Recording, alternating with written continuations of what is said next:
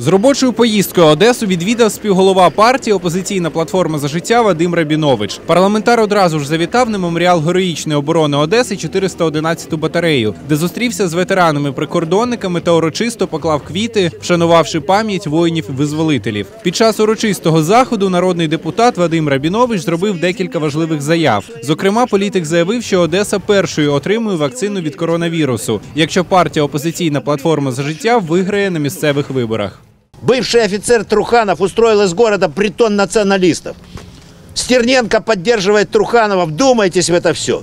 Вдумайтесь. Как можно подумать бывшему офицеру о том, что он принесет мир в Одессу? Мы сегодня единственная и правильная партия. Потому что все остальные ведут никуда. И я вам гарантирую несколько вещей. Первое. Первый город, который может получить вакцину от коронавируса из России, будет здесь Одесса. И Скорик это может и переговоры провел. Свою чергу народний депутат України Микола Скорик, який 15 листопада візьме участь в другому турі мерських виборів, подякував колегам за підтримку напередодні важливого дня для Одеси. Також політик зауважив, що нинішня зустріч з ветеранами Великої вітчизняної війни та вшанування всіх загиблих героїв честь для нього. Адже українці зобов'язані берегти пам'ять про наших предків, які відстояли свободу і незалежність нашої батьківщини. Одесса – это по-настоящему э, город-герой.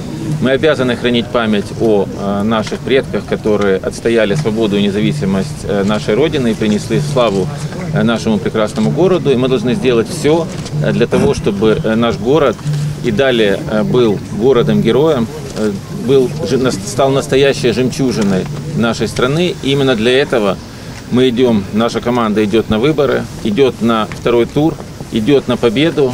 Співголова політичної сили Вадим Рабінович закликав одеситів підтримати представника опозиційної платформи за життя Миколу Скорика на пост мера міста, щоб змінити хід історії і зробити Одесу знову величним містом України. У відповідь на це парламентар Микола Скорик висловив свою стурбованість тим, у якому стані знаходиться його рідне місто, та пообіцяв, як тільки буде обраний мером міста, вирішити усі накопичені за довгі роки проблеми.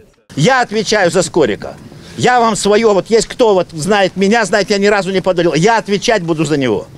Мы победим, победа будет за нами, а враг будет разбит. Спасибо. Ура! Ура!